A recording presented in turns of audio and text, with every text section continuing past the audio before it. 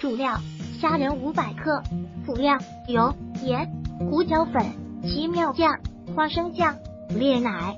准备时间十分钟内，制作时间十分钟内。将买回来的虾仁清洗干净，然后用厨房用纸吸干水分。将虾仁用刀的压扁成虾胶，然后用适量的盐、胡椒粉拌均匀。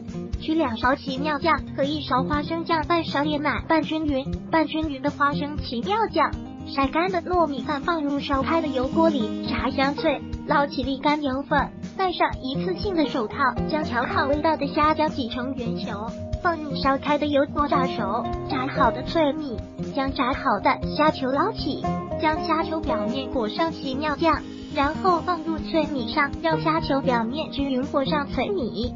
这款脆米虾球做法特别，酥脆的糯米粒包裹着奶香爽口的虾球，用来家庭宴客一定很上档次。烹饪技巧。无需技巧，如果喜欢本视频，请分享并订阅本频道。